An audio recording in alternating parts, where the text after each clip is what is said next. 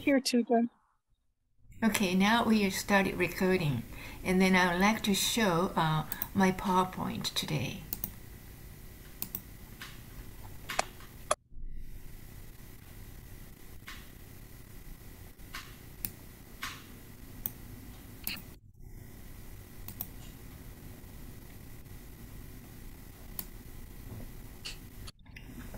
I hope you can see my PowerPoint. Uh, my title today is Living in the White Path. Okay, so uh, let's get started. And then I briefly explain the subject about, you know, 30 minutes or so, and then we'll open up the discussion. You're free to talk and then share your thought. Okay? So, um, see. As you know, um, there are many, many parables uh, in that Buddhist sutras. So, for example, the very famous parable is burning house and three children. Maybe some of you already knew this. This one uh, uh, came out in the Lotus Sutra. So um, the the story goes like that. You can see the picture here. I like this picture. Look at that. A um, there are uh, supposed to be three children, and I four. Maybe some, you know, three boys invited one, you know, the friend neighborhood. I don't know, but anyway, um, this is sort of like a. This man is a father. Father, father is kind of rich man in the village, and then he had some kind of business, and he had three sons. And then one day he has to leave the house and say go to the town. So he told the father, say, "Oh boy, my boys, you have to be- behave yourself, and then don't have uh, I'm know, listening to the Zoom Zoom Yeah. Discussion. So uh, could you mute? Can you mute, please? Okay. So uh, the story goes like so: the father left home and go to the town. So three kids are playing at home. I don't know what they're doing. So, but however, somehow uh, the house where the three children living got fired. So when his father came back from the town to the village, he found out, oh my goodness, my house is on fire. So the, all the villagers said, "Oh, we have we have a big trouble. Your your house is on fire. You know what? I have three kids there. We have to rescue them." That's how it goes. So the father said, "Oh, what should I do? You know, call my kids. Please get out. You don't know, but you are in the fire. You have a big trouble. Get out." But all the three children don't care, don't hear the father's voice. They just keep playing and jumping around and chasing each other. So my, you know, if the father came up, you know, idea. Okay, so I have an idea. I will tell my kids I got three vehicles, sort of like a vehicle, like a some kind of bicycle, the bikes, or maybe the cars. So he goes like, "Well, my children, you know what? You have to get out. I got a, uh goat coat, goat car, goat. Number one is a goat, and then deer car, and then I got ox cart. You like it? Get out of the house. Take a look at it." So finally, three children listen to their father's voice. Oh, my father got souvenir for us, gift for us. So they got out of the house. And then, where is a house? Where is a car? Actually, there are no three cars. There is a white bullock's car outside. That's how the story goes. So what it means, there is a lot of elements, right?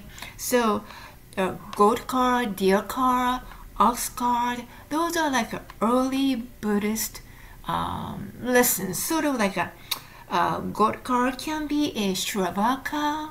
Uh, there are some, you know, uh, uh, Theravada Buddhism has a, uh, a certain bodhisattva ranks. So Shravaka, uh, you know, route, or maybe a Pratyeka um, Buddha, and then also last one is a uh, Bodhisattva route. So those are three different way to get enlightened or to receive a Buddhahood. But however, instead of three different vehicles, uh, Lotus Sutra always say there is one uh, Ekayana. Is everybody get into the same car, which is you can get on white bullock's car. So there is no difference between Shravaka and Pratyeka Buddha or um, uh, Bodhisattva route. That's the way the story is. So that's a burning house. It's a burning house, but that means this world. Uh, burning house, like a Saha world, where all the human beings are living. The human world is Saha. Um, samsara. Saha comes from Sanskrit. Saha world. Becomes Samsara world. That's the famous Lotus Sutra story. And then also another, uh, I'm sure you know about the fable of Aesop. Aesop is the, the hare and the tortoise, right? I don't have to explain this, but Aesop's story, very famous fable, tells the story of the tortoise who was ridiculed by the hare for being slow. Turtle, he was so slow, but the turtle wanted to challenge it, and then he took a race with hare. And the hare soon leaves the tortoise and behind, and then he was very confident of winning because he's jumping around and um, goes fast, but he took a nap, didn't he? So when he woke up, he realized, ah, oh, my competitor, a tortoise, crawling slowly but steadily, it has already arrived before the hare. That the story went, right? So what it means to you, we learned a lesson from them. So those are the fables. So today, I want to share the famous fable. It, the title is The Two Rivers in White Path. Two Rivers in White Path. So you see this, I will explain later, but that's how the picture goes. Two rivers is two one river is a river of fire, another one river of icy water, and then traveler here is try to go from east side to west side. That's how the story goes. This is another famous uh, fable uh, by Shan-tao. Shan-tao. So before getting to this uh, two river and white path, let me explain the author, um, Shan-tao. Shan-tao or Zendo uh, was one of the Shinran's seven masters, Pure masters. He is number five, Chinese master. Shan-tao, in other words, Zendo, was born in China way back to 613 and 681.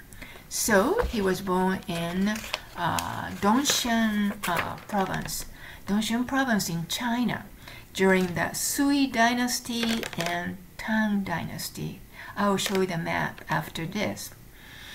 And then at that time in China particularly, the Contemplation Sutra, you know, the one of the three Pure Land Sutra, Larger Sutra, Contemplation Sutra, and then Amida Sutra. There are three Pure Land Sutras, Mahayana Buddhism. But the Contemplation Sutra was very popular in China. So uh, Shan-tao was reading the Contemplation Sutra deeply, and then he worked on the commentary, how to understand, an explanation book, you know, commentary about the Contemplation Sutra. And then Shan-tao met the Tao Chou uh, at a uh, Xuanzhong Temple. Xuanzhong Temple is a very famous, uh, still now, tourist spot in China. So uh, uh, Tao actually was a teacher. So Shan-tao was able to see in person Tao at that time. So this is a um, uh, how he looked like. People say that Shan-tao was such a diligent monk and he always practiced every day, day and night. And he never looked up the woman at all.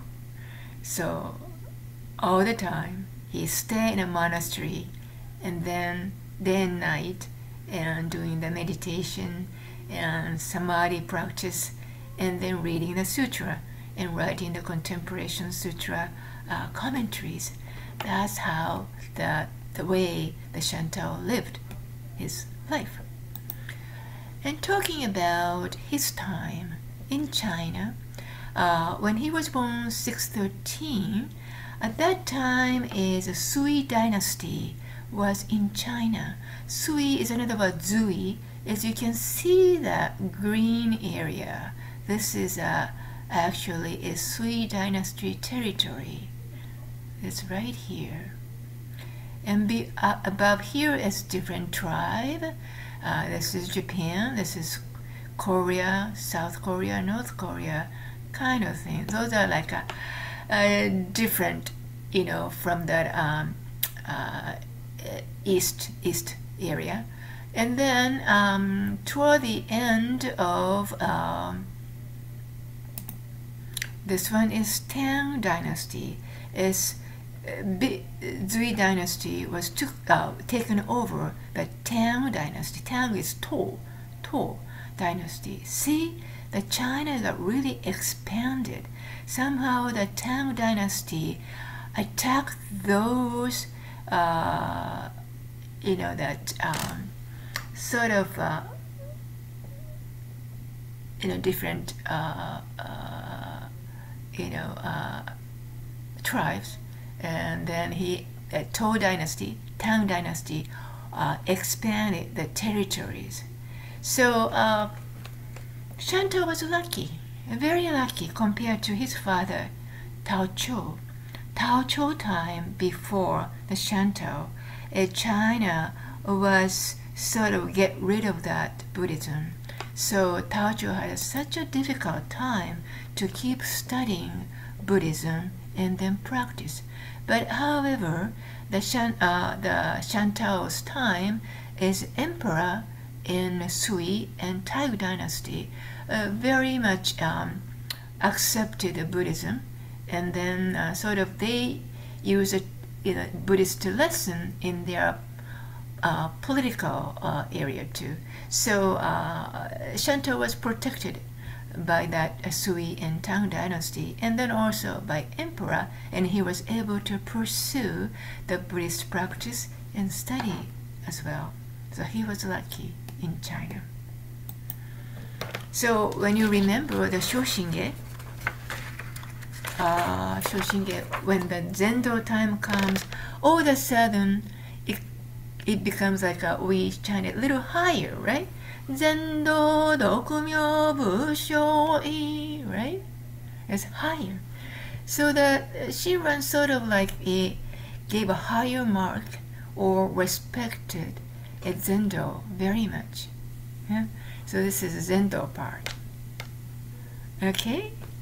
And then Zendo, uh, Shan-tao, another word.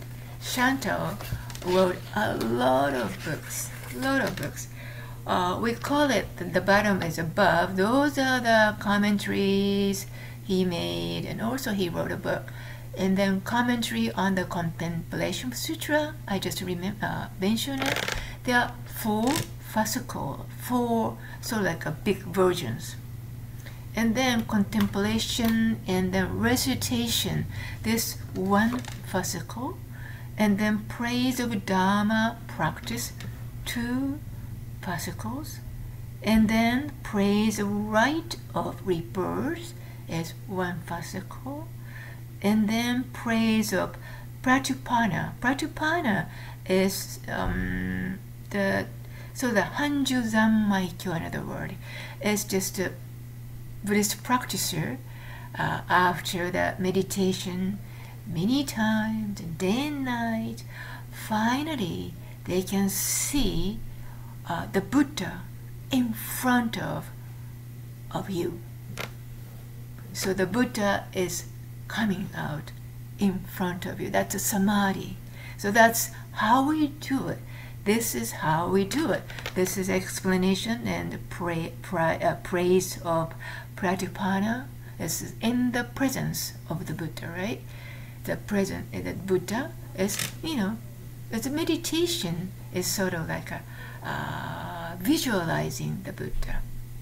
Shakyamuni, Amida Buddha, any kind of Buddha. There are some 32 major characteristics and then more detailed characteristics. The practices has to remember it, how the Buddha looks like from the top of the head to the bottom to the feet.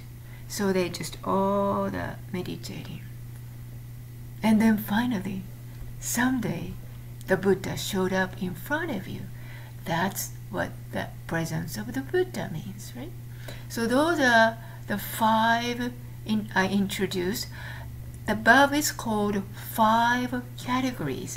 So when you count one, two, three, four, five categories, how many fascicle?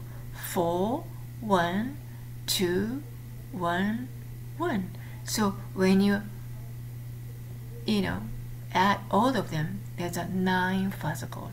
We call it five categories and nine fascicles. Alright, so this is the Shan-tao's in major uh, books uh, they worked he worked on.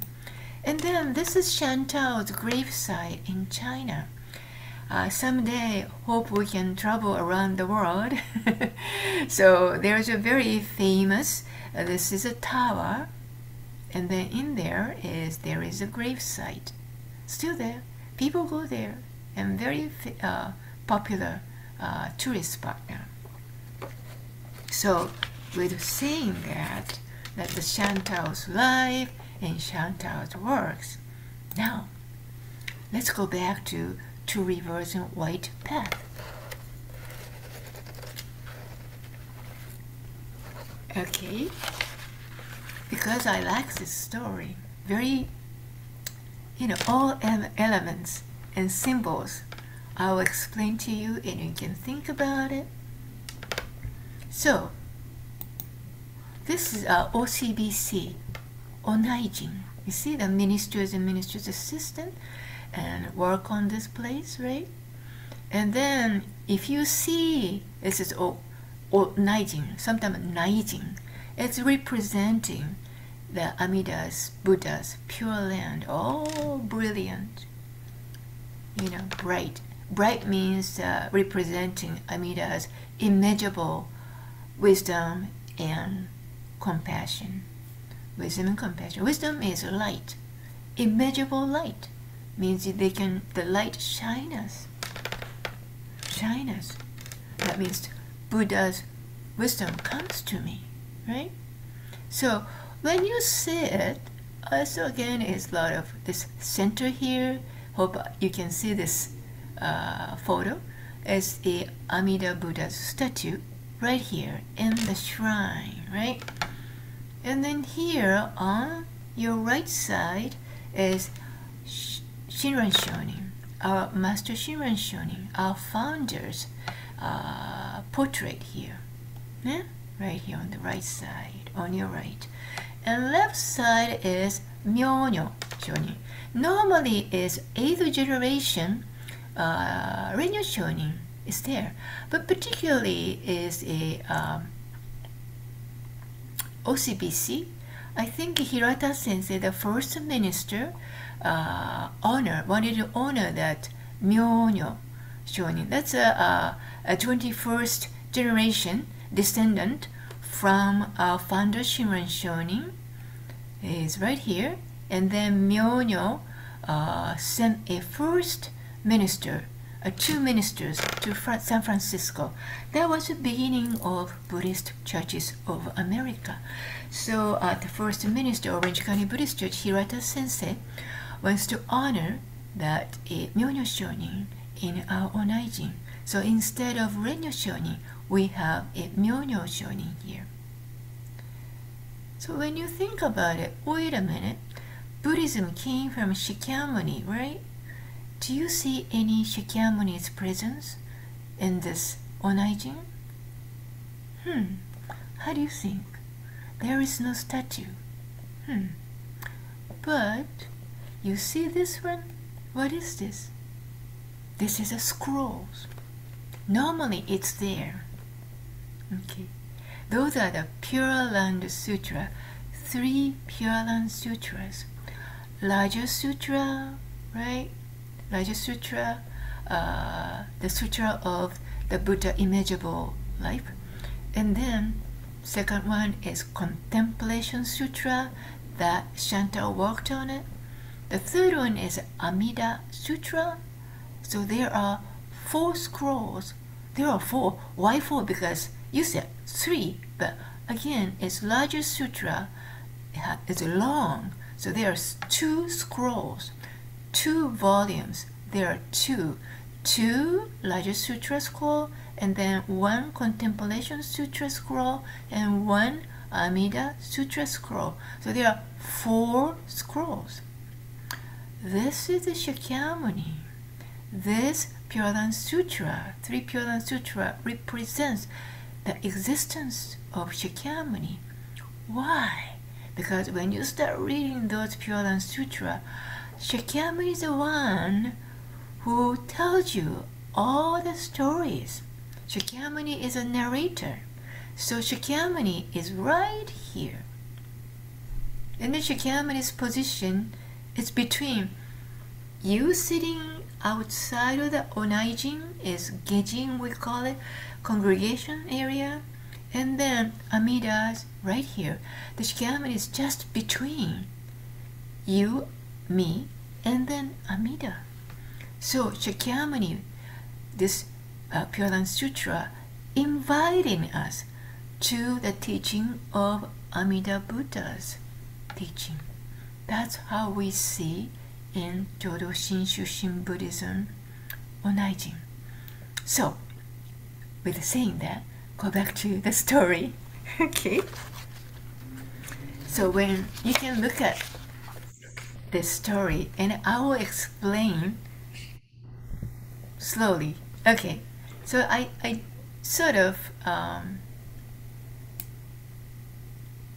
you see okay? You see the everything that okay. So I added the name. This is the area is a east means this world, this shore versus east versus to the west. This area is west. That shore. This shore is this world. And then that shore is a Buddha's realm or land. And then right here is right here is Shakyamuni Buddha in the east side, this world. And then Amida Buddha is a western direction. Okay, and then here is traveler. It's a little hard to see, but there is one traveler. So you, I want you to think about this is you, this is you, and this is me.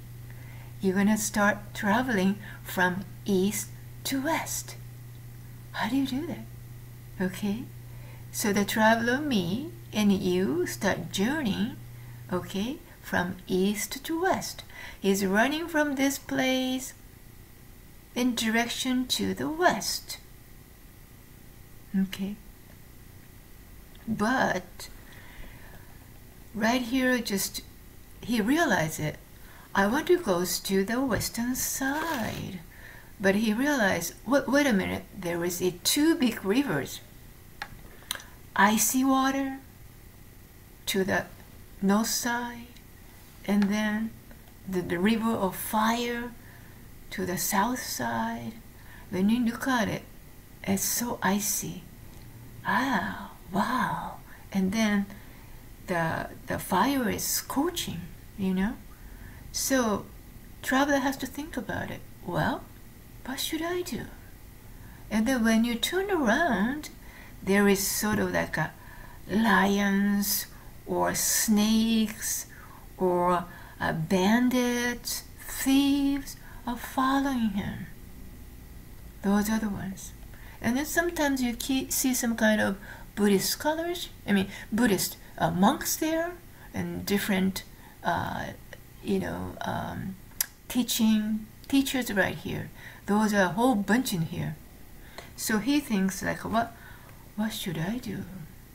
And then he realized one path right here. You see that little bit all the way to this path. Huh. This is, they say, is 100 steps. 100 steps. So he thinks about it. What should I do? I can't go to jump, I cannot jump into icy water and then maybe swim from the east to west. No way, I'll be frozen to death. I can't jump into the fire water. I'll be burned, right? Or maybe I can turn around and go back. No, no, no. There is a beast. And then bandits. Bandits try to steal his purse and money and credit card, everything. So he has to think about it. Three directions are out. So only thing I can do is maybe just believe in this white path and then I will start going and pursue this white path little by little. So when he decided to start walking and he can hear some voice coming from the eastern side and that's an encouraging voice from someone to the traveler and then it goes like oh traveler just uh, uh, resolve to follow this path in front of you you will certainly not encounter the grief or death.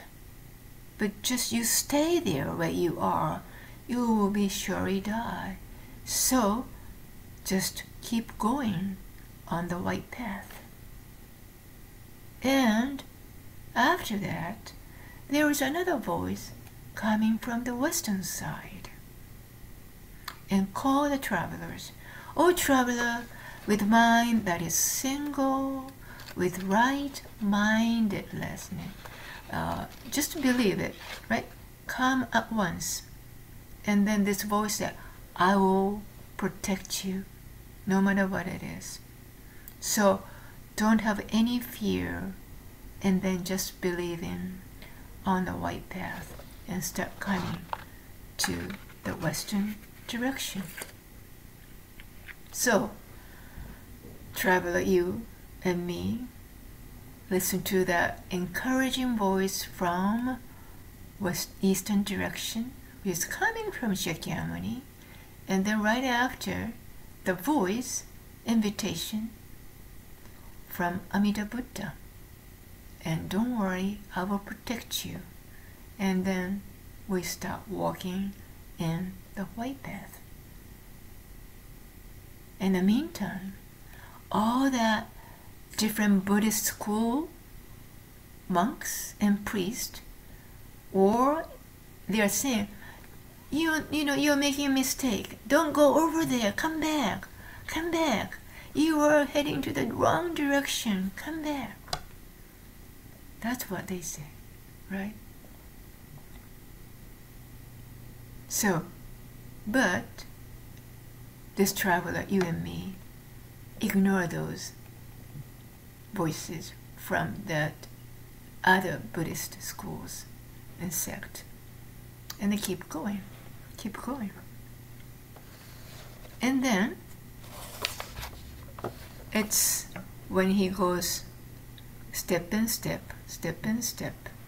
And then somehow this white path became a widened, bigger, and he was able to, we are able to reach the western shore and then see uh, many, many good friends. That's how the story goes. Okay? So, That's what I explained today. So, I said is each element of vocabulary has a meaning, explanation. Probably you knew already that the Western Bank is a burning house that is a Saha world, our, our, our world. And the Western Bank is a precious land of perfect bliss. And then uh, brigands or uh, bandits and wild beasts like lions or snakes calling with uh, treacherous familiarity and the sentient beings six sense organs right uh, representing the human six organs. Also like a I can see eye, nose, mouth, taste, and hear and touch, and then feeling. Those are six organs, right? And six forms of consciousness. I can see things, I can hear someone's voice, touch, I can taste, those are things. And then also five aggregations, on right? And then four elements. I just explained all the elements. And then um, no one is to be seen with traveling. Huh?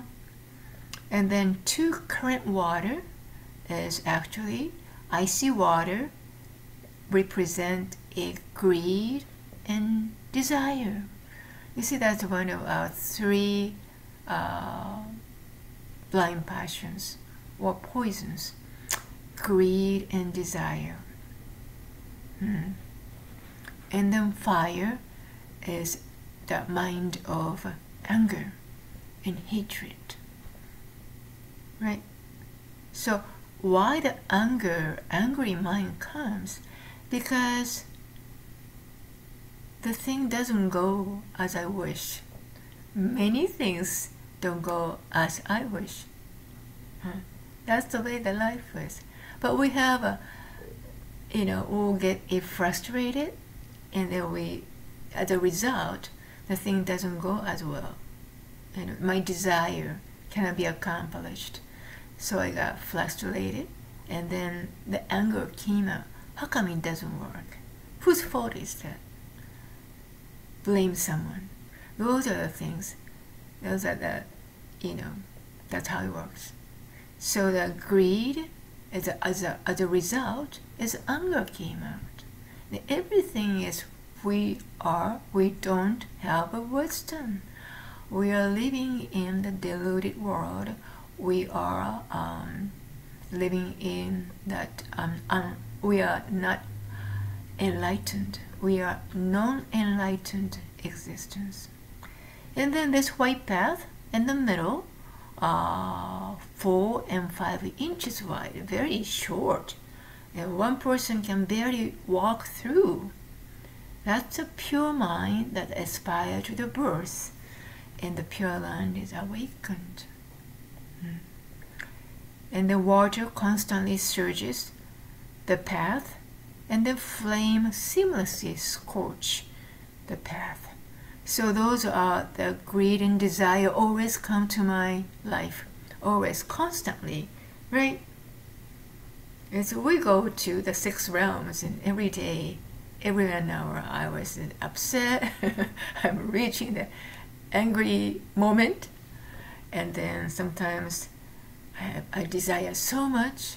Uh, As a result, I reach that the world of anger in the afternoon. It's always, huh? So dinner time is maybe I might reach that realm of hunger, eat a lot. See, it's just like every day, just back and forth, back and forth. We go through the the six realms all the time. That's how this two rivers of white uh, white path. What else? What else? Travelers follow the path and advances directly westernward and he hears the voice of someone in Eastern Bank encouraging and exhorting him and following the path advances directly western word. That's the voice from Shakyamuni Buddha. Because Shakyamuni Buddha was a human. So, human Buddha, right? Human. He was a human and get enlightened while he was alive. So, he just always uh, stays here in the human world, always give us a direction. Direction.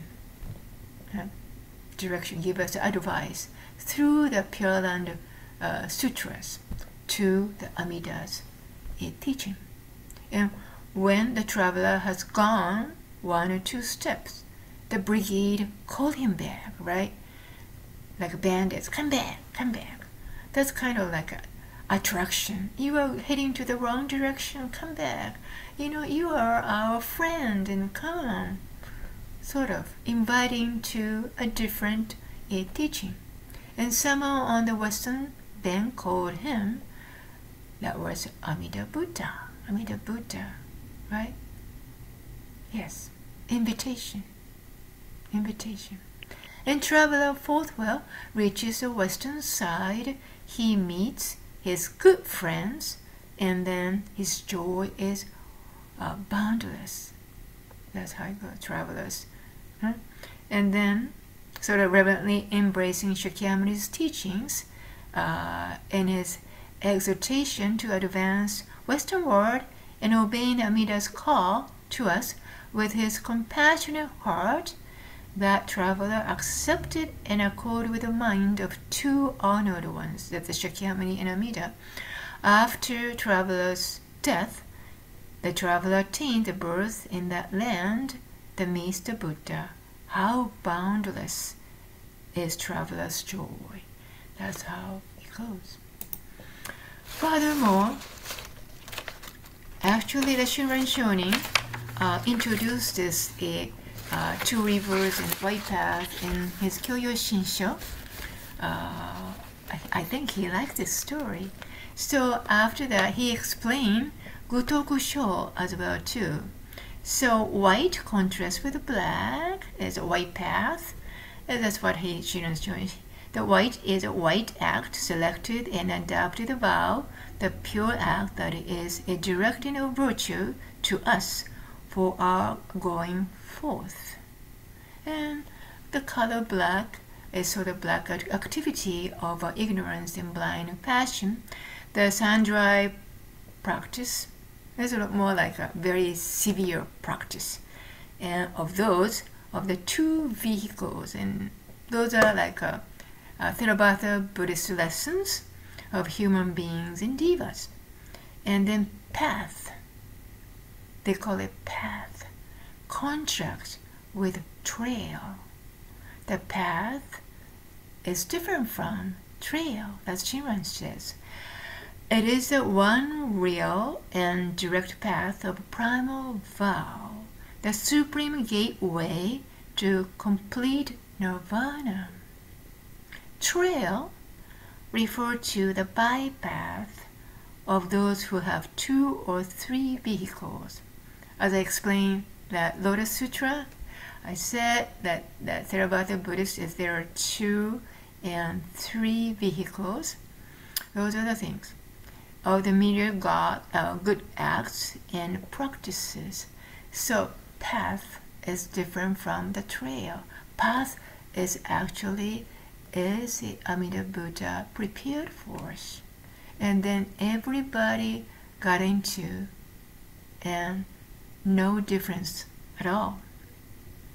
No high and no lows. Everybody can try and four or five inches wide refer to the four elements and five aggregate uh, that makes of sentient beings. This is a little bit technical. And awakening the pure mind aspiration means to realize a diamond-like true mind, true mind. And since this is an ocean of great Shinjin, true and a real mind directed to us, through the power or primal vow that's coming from Amida's deep wish to us, it cannot be defeated, broken. ね, defeated or broken. This is likened to diamond. So diamond, why diamond? Diamond is supposed to be a very hard stone, very hard stone. Diamond like mind is means not defeatable and unbroken. That's the kind of wish or that's the kind of Amida's vow.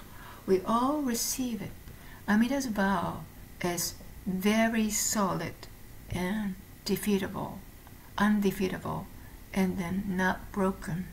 So we hear Amida's invitation and then receive Amida's deep wish, which is very uh, hard and unbreakable, which is diamond like true and real mind, which is a shinjin, we call it. We receive it from Amida's side.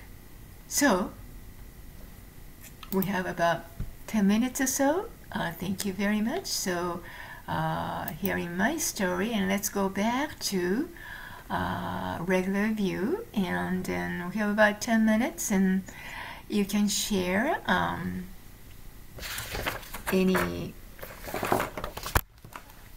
thought about it, and uh, maybe you can just uh, uh, turn off the recording and then you can free